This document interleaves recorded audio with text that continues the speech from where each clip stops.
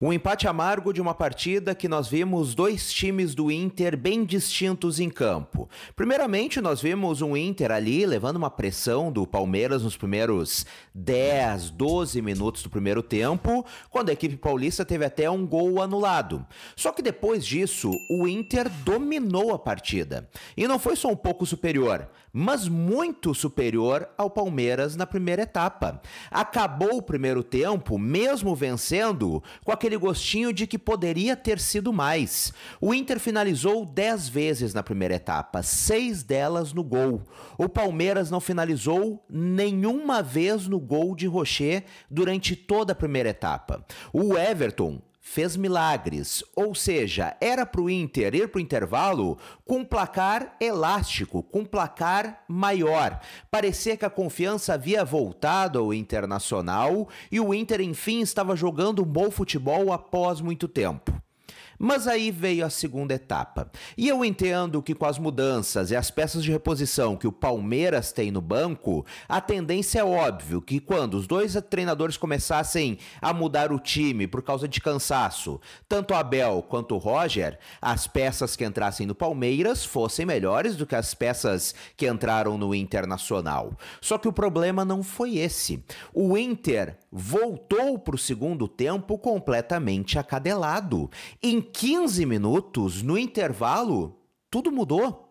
O Inter, repito, saiu da primeira etapa muito superior ao Palmeiras, pressionando, criando, tomando conta do jogo. E 15 minutos depois, volta, deixando o Palmeiras jogar. O Palmeiras empilhando oportunidades, atacando, assustando o Internacional. Eu tento entender o que, que aconteceu neste intervalo para que em 15 minutos a postura do time simplesmente mudasse. E aí entra o fator Roger Machado. Porque assim, eu elogio ele pelo primeiro tempo do Internacional. Como há muito tempo não via o Inter jogar tão bem e tão bem organizado, mas também culpo ele pelo que aconteceu na segunda etapa. Afinal, não é normal um time ir para o intervalo sendo tão superior, tão melhor do que o adversário e voltar 15 minutos depois jogando acadelado, jogando esperando Palmeiras, deixando o Palmeiras jogar e tomar conta do jogo. Aí tem dedo do treinador. Alguma coisa aconteceu no intervalo do jogo. E aí nós tivemos as mudanças em ambos os times que deu aquela disparidade técnica um pouco maior. Afinal, as peças de reposição do Palmeiras hoje são muito superiores às peças de reposição do Internacional. O que o Abel Ferreira tinha no banco de reservas era muito melhor do que o Roger tinha no banco de reservas. Então, neste ponto, não vou entrar muito. O que me preocupa é a mudança de postura. O Inter se acadelou no intervalo de 15 minutos. E aí tem uma outra parte importante, porque assim assim. Embora o Inter tenha deixado o Palmeiras jogar na segunda etapa, tenha tomado muitos sustos, a partida tenha mudado, nem por isso o Inter deixou de criar oportunidades, porque conseguiu muitas oportunidades nos contra-ataques. O Inter achou muitos espaços nesses contra-ataques. E aí vai entrar o que eu digo no título desse vídeo. O empate hoje foi causado pela burrice e pela inoperância do ataque do Internacional. Porque o Inter conseguiu achar espaços, conseguiu encontrar oportunidades enquanto o jogo estava 1 a 0, oportunidades claríssimas.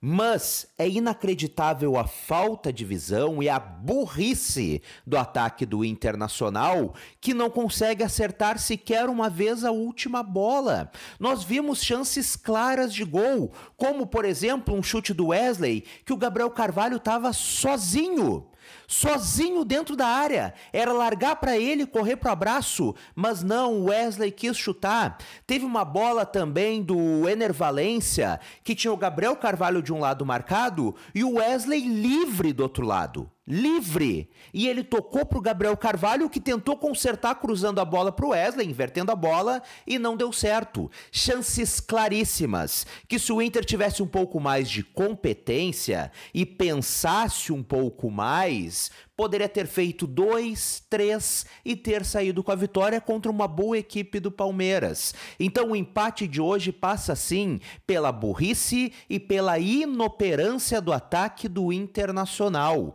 Tudo bem, o Inter tem cinco jogos a menos do que a maioria dos times do Brasileirão. É, um, é uma pontuação expressiva que o Inter deixou de disputar até o momento.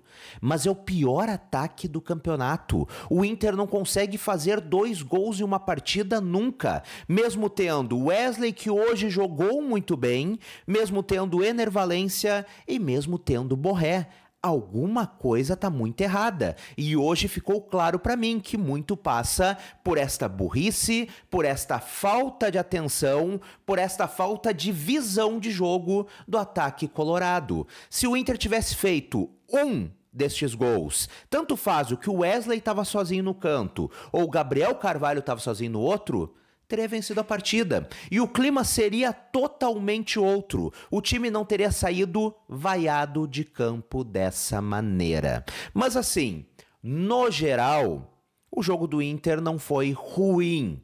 Foi acadelado no segundo tempo? Foi, mas mesmo assim criou oportunidades. No primeiro tempo, dominou a partida a partir dos 10, 12 minutos e poderia ter feito mais, como eu falei. Não foi ruim. Me pareceu um Inter muito melhor organizado do que nas partidas anteriores. Até por ter uma semana livre para treinos como teve, mas segue pecando em alguns dos mesmos aspectos principalmente pela inoperância. E aqui eu já quero dizer de novo, em relação a um jogador, e eu não sou de pegar no pé de jogador, mas o Johan não pode fardar no Internacional é muito fraco, erra tudo. E eu não gosto de queimar jogador por uma ou duas partidas, eu já falei várias vezes por aqui.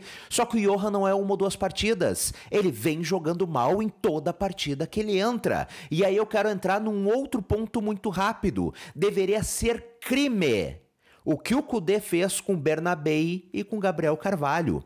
Nada justifica o Kudê ter insistido em manter o René e quando o René não podia jogar, ele improvisar um zagueiro na lateral para não colocar o Bernabei. Bernabei hoje foi muito bem de novo e formou uma dupla muito boa, muito interessante pela esquerda junto com Wesley. Deveria, talvez se tivesse recebido oportunidades do Kudê no lugar do René, talvez o Inter não estivesse eliminado de tudo.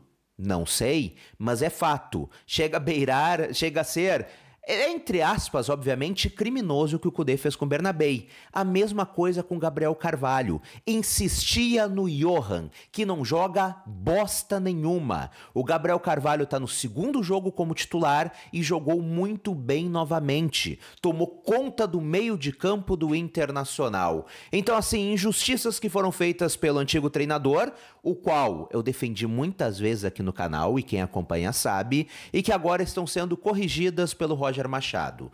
O que eu vi hoje no primeiro tempo, e embora eh, eh, tenha jogado acadelado no segundo, mas mesmo assim conseguindo criar oportunidades, tendo um pouco mais de organização, me dá esperança de dias melhores para o Internacional, agora com estas semanas cheias para treinos. Mas é óbvio, é preocupante. São 11 jogos sem vencer. 11 jogos sem vencer. No ano do rebaixamento, em 2016, eu não acredito que o Inter vai cair ou vai brigar para não cair, mas hoje é o 16 colocado, com cinco jogos a menos, obviamente. Mas no ano do rebaixamento, o Inter passou 14 jogos sem vencer. Agora já são 11. É para ligar o sinal de alerta, é para entender o que está acontecendo e para corrigir estes problemas preocupante, embora eu não acredite que o Inter vai lutar para não cair, mas é muito desconfortável e tá uma pressão enorme por parte da torcida e com razão. Com o elenco que tem, mesmo com todos os desfalques que tem, não há justificativa para 11 partidas sem vitória. É inaceitável.